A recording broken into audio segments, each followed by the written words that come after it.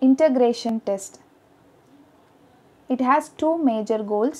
One is to detect defects that occur on interfaces of the unit. Unit நம்ம முன்னாடி பார்த்த unit டெஸ்டிங்கை நம்ம வந்து இன்டகிரேட் பண்ணும்போது அதுக்கு இன்டர்ஃபேஸஸ் எல்லாம் இருக்கும் அதில் ஏதாவது டிஃபெக்ட்ஸ் இருக்குதா நம்ம ரெண்டு யூனிட்டை இன்டகிரேட் பண்ணுறதுக்கான இன்டர்ஃபேஸஸில் ஏதாவது டிஃபெக்ட்ஸ் இருக்குதா அப்படிங்கிறத நம்ம செக் பண்ணுறது இன்னொன்று to assemble the individual units into working subsystems and finally a complete system that is ready for system unit ரெண்டாவது நம்ம என்ன பண்ணணும் அப்படின்னா we have to assemble individual யூனிட்டாக நம்மக்கிட்ட கொடுத்துருப்பாங்க. அதை நம்ம வந்து ஒரு ஒர்க்கிங் சப்சிஸ்டமாக இன்டகிரேட் பண்ணி ஒர்க்கிங் சப்சிஸ்டம்ஸாக அதை வந்து கம்பைன் பண்ணிவிட்டு அதுக்கப்புறம் ஃபைனலாக நம்ம அது ஒரு கம்ப்ளீட் சிஸ்டமாக நெக்ஸ்ட் லெவல் ஆஃப் டெஸ்டிங்காக இருக்கிற சிஸ்டம் டெஸ்டிங்க்கு நம்ம கொடுக்கணும். So this these are the two major goals in integration testing ஒன்று இன்டகிரேட் பண்ணும்போது ஏதாவது டிஃபெக்ட் இருக்கா? அதுக்கப்புறம் கரெக்டாக நம்ம அசம்பிள் பண்ணி அதை ஒரு ஹோல் சிஸ்டமாக நம்ம சிஸ்டம் டெஸ்டிங்க்கு கொடுக்குறோமா? இந்த ரெண்டு கோல் தான் integration டெஸ்டிங்க்கு in unit test tester attempt to detect defects that are related to functionality and structure of the unit there is some simple testing of unit interfaces when the unit interact with drivers and stubs. However, interfaces are more adequately tested during integration test when each unit is finally connected to a full and working implementation of those units it calls and those that call it. So second பாயிண்டில் என்ன சொல்லியிருக்காங்க drivers and ஸ்டப்ஸை வந்து unit இன்டர்ஃபேஸஸில் கால் பண்ணி நம்ம அதை interact பண்ண வைக்கிறோம் first பாயிண்ட்டில் அதோடைய ஃபங்க்ஷனாலிட்டி ஸ்ட்ரக்சரை நம்ம டெஸ்ட் பண்ணுறோம் நெக்ஸ்ட் டிரைவர்ஸ் அண்ட் ஸ்டப்ஸ் அதில் இன்வால்வ் ஆகிருக்கு இதெல்லாம் யூனிட் டெஸ்டிங்கில் பட் இன் இன்டகிரேஷன் டெஸ்டிங்கில் நம்ம என்ன பண்ண போகிறோம் யூனிட்டை வந்து அதோடைய இன்டர்ஃபேஸஸ் மூலமாக நம்ம கலெக்ட் பண்ணி அதுக்கப்புறம் அது ஒரு ஃபுல் அண்ட் ஒர்க்கிங் இம்ப்ளிமெண்டேஷனை வந்து நம்ம ஃபைனலாக கனெக்ட் பண்ணி அதில் இம்ப்ளிமெண்ட் பண்ணி அதில் அவுட்புட்டை நம்ம வர வைக்க போகிறோம் அப்படிங்கிறது தான் இந்த யூனிட் டெஸ்டோடைய பாயிண்ட் அப்படின்னு இதில் சொல்லியிருக்காங்க. As a consequence of this assembly or integration process software subsystems and finally a completed system is put together during the integration test.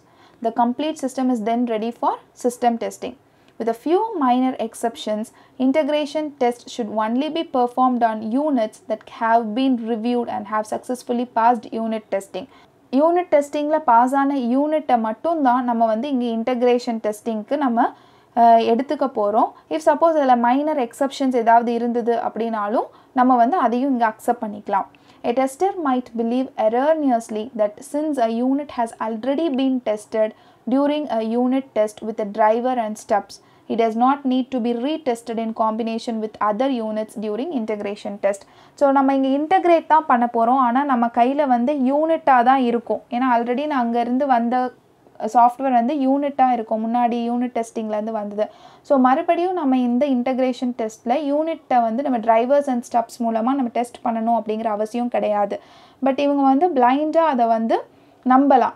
கண்டிப்பாக இது வந்து ப்ராப்பராக தான் இருக்குது எரர் இதில் கிடையாது அப்படின்னு நம்பி they can do integration test However, a unit tested in isolation may not have been tested adequately for the situation where it is combined with other modules.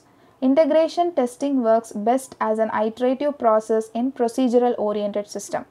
One unit at a time is integrated into a set of previously integrated modules which have been passed a set of integration test.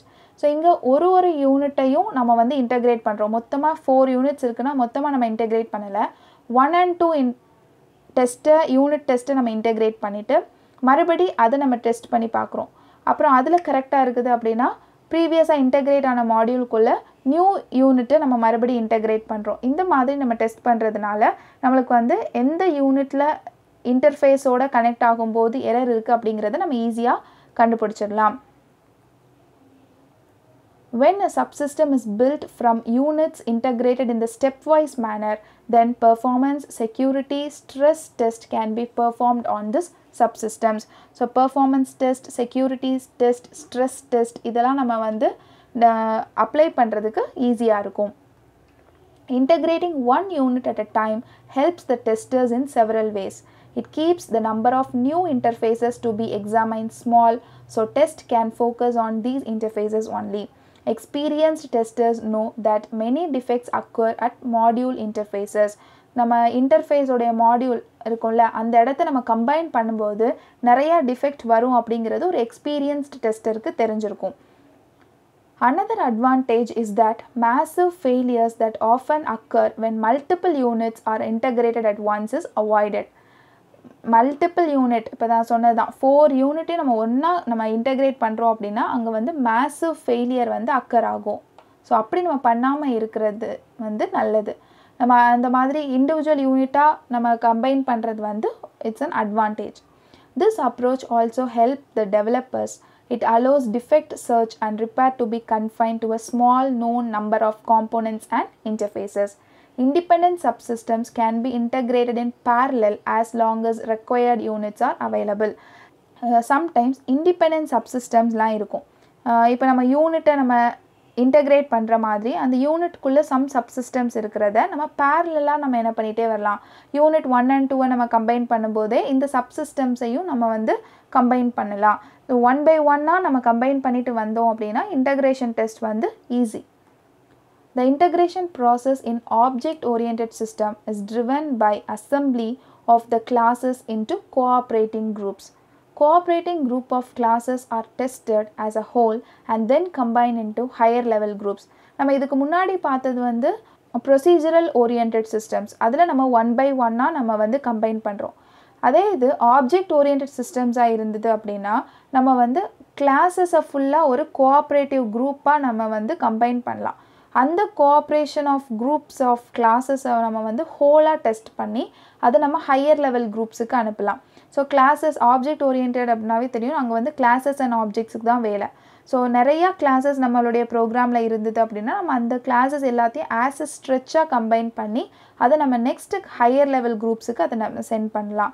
Usually simpler groups are tested first and then combine to form a higher level group until the system is assembled mostly கிளாஸ்லேயே வந்து ரொம்ப inheritance அந்த மாதிரியான கான்செப்ட்ஸ்லாம் இல்லாமல் simple கிளாஸஸை முதல்ல test பண்ணிவிட்டு அதுக்கப்புறம் அதை group பண்ணி ஹையர் குரூப்ஸாக அதை வந்து கன்வெர்ட் பண்ணிவிட்டு அப்புறம் நம்மளுடைய ஹோல் சிஸ்டம்ஸை நம்ம அசம்பிள் பண்ணலாம். இது ஆப்ஜெக்ட் ஓரியன்ட் சிஸ்டம்ஸில்